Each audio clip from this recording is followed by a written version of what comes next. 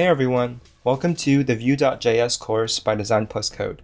My name is Thomas and I'll be showing you how to build an admin dashboard from scratch using Vue. A few key things that we'll be learning is how to create graphs, charts, and tables to visualize data, how to manage users by entering certain pieces of information, and how to do some responsive cards using Flexbox. A big feature that I'll be teaching as well is dark mode, which will be applied to an entire site using Vuex. Another thing that I'll go over is how to do login. I'll demonstrate how to set up an entire authentication process with the ability to sign in using email password, how to recover an account by sending a reset password email, and how to request an account to an administrator because we want to limit the number of users that have access to our dashboard. So before we get started, I just want to talk a little bit about why we should be learning Vue. By now, you may have already taken Meng's React course, which uses Gatsby, and that's a great way to make a website. However, there are some things that Vue does that React doesn't out of the box, and I'll be going over those things in this course. Vue and React are currently JavaScript's most popular frameworks. In fact, Vue has more stars on GitHub than React does, and it's extremely popular in China. A couple big companies that use Vue are Adobe and NASA. I think it's important to learn about both frameworks so we can choose what fits best for us and for our projects. So without further ado, let's dive right into it. The simplest and fastest way to start a new Vue project is through Vue CLI. So I'm going to go up to Google and type in Vue CLI 3. I'm going to click the first link and then on the left hand side, go to installation. So on this page, it tells us how to install the Vue CLI on our local computer. And right away, you'll see that there's two options for us. We can either use npm or yarn. So npm and yarn are both node package managers, meaning they let us install JavaScript packages onto our local computer and run them. And when you install npm or yarn, it comes with node, so we don't have to worry about this requirement right here. So NPM and Yarn are basically the same thing, with a few minor differences, but Yarn is a little bit faster and has a little bit of a friendlier output in the terminal, so I prefer Yarn. It also has emojis. So to install Yarn, I'm going to go to Google again and just type install Yarn. I'm going to click the first link, and in this page, it tells us how to install Yarn on different operating systems. You can choose your operating system here. In this case, I'm on a Mac, so I'm going to go ahead and just follow these instructions here. So the instructions say that I can install Yarn through the Homebrew Package Manager, which is an installation tool for Mac.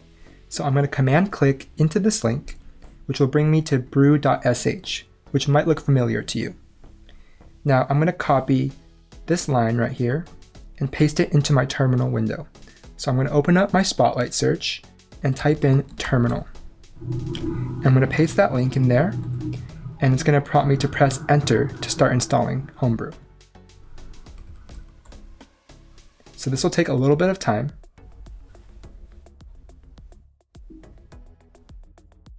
And here we go. It's installation successful. Now I'm going to go back to installing Yarn. I'll need to type in brew install yarn into my terminal.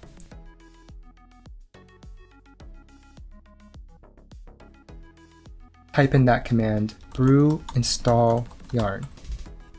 Now this will take a little bit of time for you, but because I already have it installed, I get this message.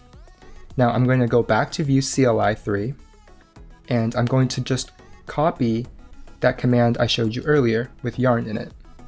So I'm going to paste that into my terminal window. It's just called yarn global add at vue slash CLI.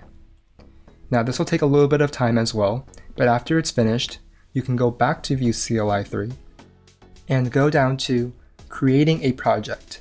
Scroll past all this other terminal stuff, we won't need it, and go straight to using the GUI or GUI. So this is a really neat tool that the Vue team has created that makes it really, really easy to create new Vue projects. So I'm gonna go back to my terminal window. I'm gonna type in Vue UI, and this will open up a browser window that lets us create projects straight from our browser, and it lives on our local computer. I'm going to be going over to the Create tab and then go inside my Documents folder. Here is where I'm going to be creating my new Vue project. Down at the bottom, there's a button that says Create a new project here. I'm going to hit that, and then for the project folder name, I'm going to call mine Vue Admin Dashboard. You may name yours whatever you'd like. Now I'm going to leave the settings at default and then hit Next. Here I'm going to select Manually Select Features and then hit Next. Here is where we'll select some custom features for the project. The first one I want is Router. Since we have multiple pages in the project, this will let us do dynamic pages for free from Vue that load lightning fast. The second one I want is Vuex. This will help us do dark mode later in the course. The last one I'm going to select is CSS preprocessors, since we're going to be using this for Sass to help us style the application and have better looking CSS. Now I'm going to hit next. Here I'm going to finish a few more configurations. So I'm going to turn on history mode, which lets us use nice looking URLs that don't contain any random numbers and letters in them. If you want more info about that, you can click right here. For the CSS preprocessor, I'm going to select Sass slash SCSS. For the linter slash formatter, I'm going to select ESLint and Prettier. So these two things will let us format and configure our code correctly when we make mistakes. And so when we save our project, it'll automatically correct our code. So after this, we're going to click Create Project. And it's going to ask if we want to save a new preset. But I'm going to continue without saving. But if you do want to save, next time you create a project, you can use the same configurations all over again. So after you click that, it's going to install, and it's going to take a little bit of time to do all the dependencies, plugins, and packages. So just wait a little bit.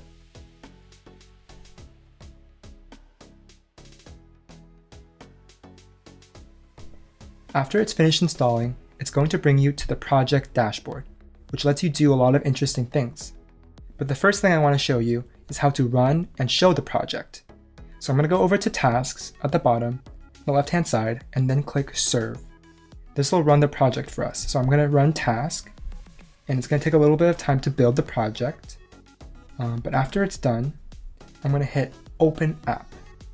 And voila, here's your first Vue app. And you can see that you can route to different pages of the app like that. In the next video, I'll show you how to style the application.